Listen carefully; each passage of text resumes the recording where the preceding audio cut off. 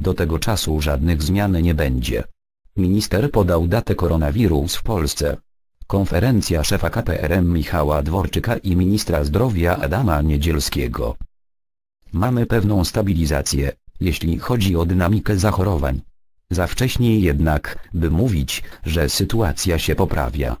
Stabilizacja pozwala nam jednak być optymistami powiedział szef kancelarii i premiera Michał Dworczyk dodając, że to efekt wprowadzonych obostrzeń i samodyscyplina Polaków. W konferencji wzięli również udział minister zdrowia Adam Niedzielski oraz główny doradca prezesa Rady Ministrów do spraw COVID-19 profesor Andrzej Horban. Żadne decyzje rządu nie zadziałałyby gdyby nie samodyscyplina i odpowiedzialność społeczeństwa. I za tę dyscyplinę chcemy Państwu jako rząd podziękować, bo tylko wspólnie jesteśmy w stanie wygrać z epidemią, powiedział Dworczyk. Szef kancelarii i premiera poinformował również, że w szpitalu tymczasowym na Stadionie Narodowym przekazano kolejnych 200 łóżek dla zakażonych pacjentów. Do przyjęcia pacjentów będzie w sumie gotowych 500 łóżek, w tym 60 respiratorowych. W kolejnych dniach będziemy oddawać kolejne szpitale tymczasowe w różnych częściach Polski, dodał Dworczyk. Mamy nadzieję, że te szpitale nigdy nie będą wykorzystane. Zawsze mówiliśmy, że to nasza cztery. Linia obrony. Budujemy bufory na ten czas, kiedy szpitale stacjonarne nie będą już mogły przyjmować pacjentów. Niedzielski, sytuacja się stabilizuje rzeczywiście, sytuacja się co najmniej stabilizuje. Sytuacja stabilizuje się w bardzo różnych wymiarach, ale najważniejszy to dzienna liczba zachorowań i zajętość infrastruktury. Zachorowalność spadła poniżej 20 tysięcy, a przebieg pandemii w ostatnich tygodniach nie rozwijał się wykładniczo. To informacje bardzo pozytywne, powiedział minister zdrowia Adam Niedzielski. Teraz w zasadzie jesteśmy w takiej fazie, gdzie stabilizacja następuje i chyba powoli możemy troszeczkę się uśmiechnąć i stwierdzić, że to co jest najgorsze, mamy w pewnym sensie za nami, dodał szef resortu zdrowia. Nasz system testowania jest oparty przede wszystkim na lekarzach POS, to oni decydują o tym, ile badań w Polsce jest wykonywanych. Najważniejsze jest utrzymanie buforu bezpieczeństwa pomiędzy liczbą zachorowań a dostępnością infrastruktury, tłumaczył Niedzielski. Postawa odpowiedzialności była postawą dominującą podczas konferencji prasowej Niedzielski wskazał, że wprowadzone przez rząd ograniczenia wpłynęły na mniejszą aktywność i mobilność społeczeństwa, mierzoną telefonami komórkowymi.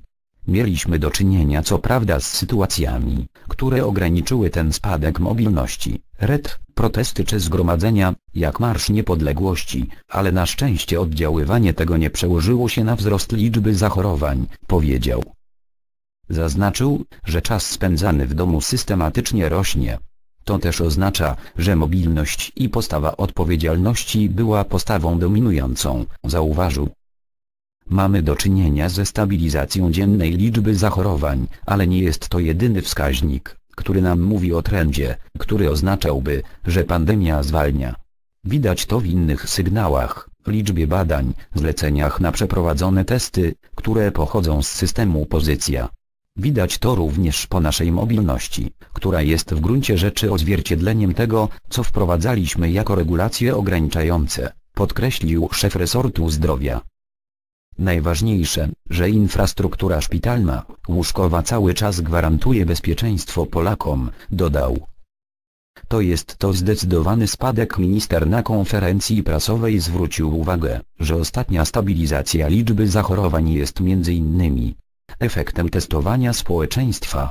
Jak wyjaśnił, system badań opiera się przede wszystkim na lekarzach rodzinnych. Od 1 do 27 października mieliśmy do czynienia, tak naprawdę co tydzień, z podwajaniem zleceń wystawianych przez lekarzy rodzinnych, wskazał minister. Zauważył, że od 27 października liczba ta zaczęła nieznacznie maleć. W tej chwili, jeżeli porównamy sobie poniedziałki, kiedy mieliśmy te największe liczby zleceń wystawianych przez POS, liczba ta spadła poniżej 50 tysięcy. Czyli patrząc na to, gdzie byliśmy jeszcze dwa, trzy tygodnie temu, to jest to zdecydowany spadek, praktycznie o połowę, mówił Niedzielski.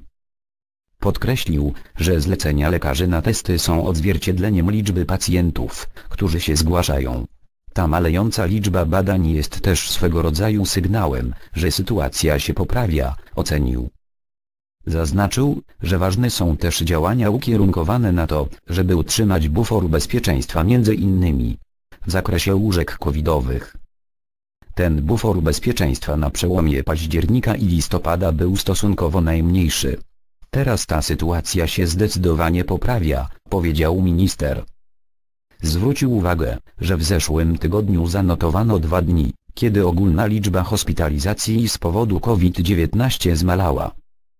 Czyli jest to kolejny sygnał, kolejny znak, że troszeczkę bardziej optymistycznie możemy patrzeć w przyszłość, dodał. Co z restrykcjami?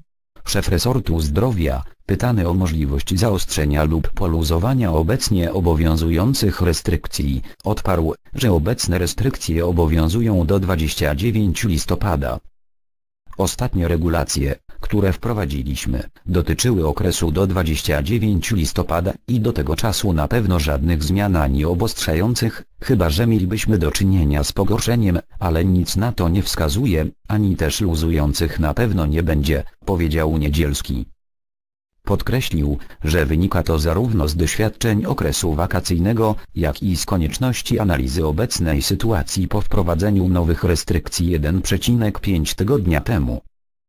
Nie ma przestrzeni na poluzowanie, jest przestrzeń na wnikliwe analizowanie, na jakim jesteśmy poziomie i przede wszystkim podejmowanie bardzo ostrożnych decyzji, zaznaczył szef Ministerstwa Zdrowia.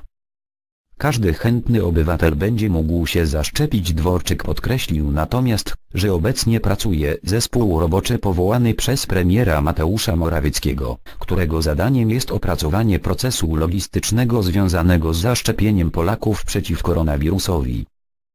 Jestem przekonany, że w perspektywie kilku, kilkunastu dni będziemy gotowi do precyzyjnego zaprezentowania całego procesu tej wielkiej operacji, żeby w krótkim czasie każdy chętny obywatel mógł się zaszczepić, powiedział szef KPRM. Minister zdrowia pytany o możliwość dystrybucji szczepionek firmy Pfizer, odparł, że rząd jest w intensywnym procesie przygotowywania obywateli do masowego zaszczepienia. Zapewniał, że nie będzie przymusu szczepienia, ale rząd będzie do tego namawiał. Niedzielski przywoływał warunki, w których musi być transportowana i przechowywana szczepionka, czyli temperaturę minus 70 lub minus 80 stopni Celsjusza.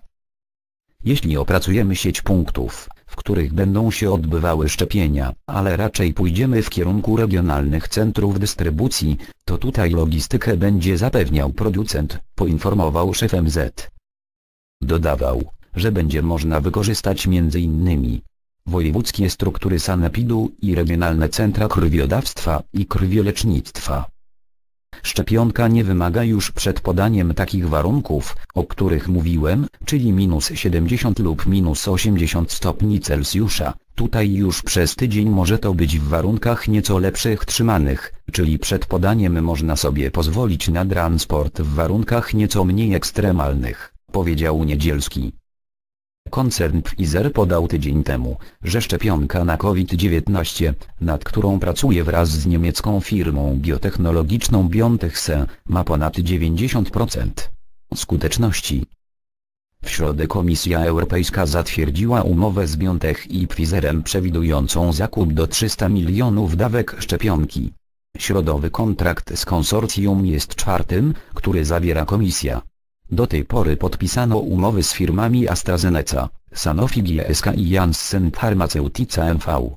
Zakończono też wstępne rozmowy z Curewac i Moderną. Co z feriami? Niedzielski podczas konferencji prasowej był pytany o możliwy termin powrotu uczniów do szkół i o ferie zimowe. Szef MZ ocenił, że dywagacje czy analizy, które dotyczą okresu feryjnego są zdecydowanie przedwczesne. My jesteśmy w takiej sytuacji, że generalnie mamy zdefiniowane bardzo wyraźnie progi, które będą powodowały luzowanie obostrzeń. Z tym może jednym zastrzeżeniem, że do 29 listopada uzgodniliśmy sobie, że żadnych kroków nie będziemy podejmowali.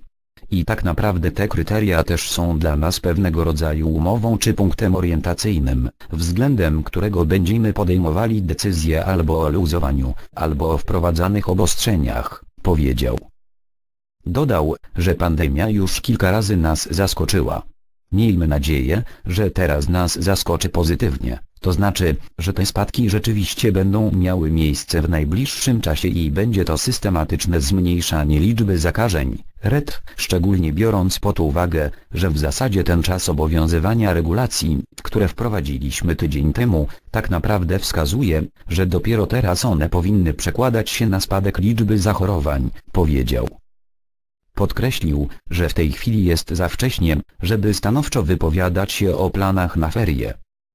Epidemia koronawirusa w Polsce we wtorek, 17 listopada, Ministerstwo Zdrowia poinformowało o 19 152 nowych przypadkach koronawirusa w Polsce. W ciągu doby zmarło kolejnych 357 osób. To trzeci kolejny dzień ze spadkiem dobowej liczby nowych zakażeń. Liczba przypadków spadła poniżej 20 tysięcy. Po raz pierwszy od 3 listopada. Łącznie, od początku epidemii w Polsce zakaziło się 752 940 osób, z czego 10 848 zmarło, a 324 282 osoby wyzdrowiały. Obecnie mamy w naszym kraju 417 810 aktywnych przypadków zakażenia. Zajęte łóżka i respiratory jak podał resort zdrowia, obecnie zajęte są 23 033 łóżka covidowe, na 36 730 dostępnych. Liczba zajętych łóżek wzrosła o 575 w ciągu doby. 2114 chorych na COVID-19 podłączonych jest do respiratorów.